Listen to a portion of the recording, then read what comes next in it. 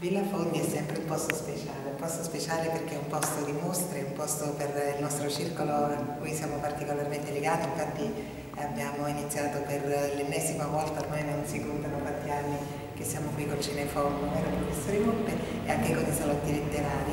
E stasera abbiamo un ospite particolare perché è un ragazzo giovanissimo, ma già così pieno di talento e così bravo. Niente di meno questo è il tuo primo libro, Alberto Grosso, e l'hai, scritto a soli 19 anni, anche Sì. se l'hai edito soltanto adesso. Sì, durante il secondo anno di università, poi sotto la spinta dei miei genitori o comunque di qualche amico l'ho mandato a questa casa editrice via internet e dopo un mese mi è arrivata una risposta positiva e quindi ho colto la palla al balzo. Peraltro mm, c'è scritto che non è cambiato così tanto, non l'hai modificato molto No, rispetto alla scrittura Perché volevo appunto mantenere sì, una cosa che mi ricordasse il mio stile da 19enne, anche E se tu quanto sei cambiato da 19 a 25 anni? penso abbastanza, sì, sia per le esperienze che ho fatto all'università, col teatro, con la musica, oppure comunque viaggiando e conoscendo altra gente.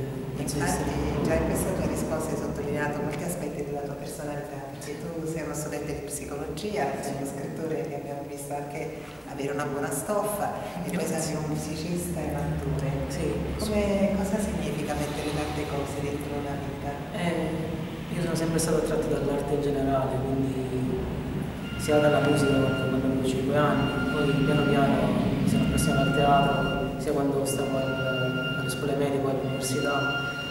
E mi piacciono tutti gli aspetti dell'arte, dalla, dalla pittura, al disegno, alla musica, all'interpretazione in teatro, mi piace molto il cinema, quindi cerco di fare più cose possibili perché vorrei diversificarmi il più possibile.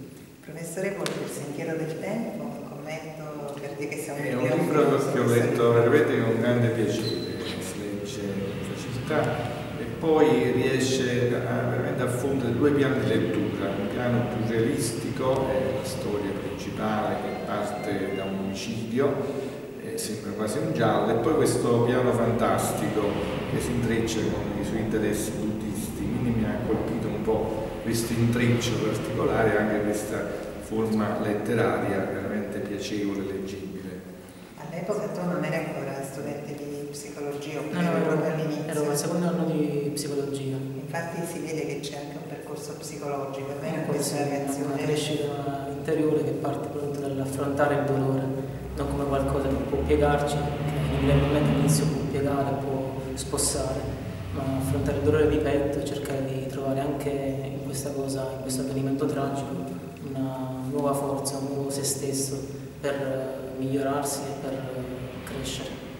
Una piccola curiosità, tu sei un uomo però hai scritto un romanzo fe- femminile, cioè la Sì. protagonista parla lei stessa con, mettendo in luce i suoi sentimenti. Sì. Questo è un lavoro che fai anche un po' da psicologo, questa empatia, questo trasfer in Questo- che sono diversi dal tuo. Questo sicuramente, cerco di medesimarmi il più possibile nell'altro, comunque di fare esperienze appunto diversificate per diversificare appunto il mio animo, tra virgolette, per comprendere il più possibile aspetti diversi della vita. In questo caso l'ho scritto anche perché forse non volevo affrontare di petto in prima persona e non dare un'immagine di me che affrontava il percorso, ma di qualcun altro anche a me vicino, sotto forma di uno spirito femminile che potesse Permetterti sentiero. forse è vero di mantenere il dovuto distacco, Sì, per non forse essere sì. coinvolto forse troppo. Sì. E l'ultima curiosità che mi viene, somigli un po' al personaggio del fratello, tu, no? C'è un po' di bene, la Sì, ragazza sicuramente, penso che come primo esperimento inevitabilmente un po' della mia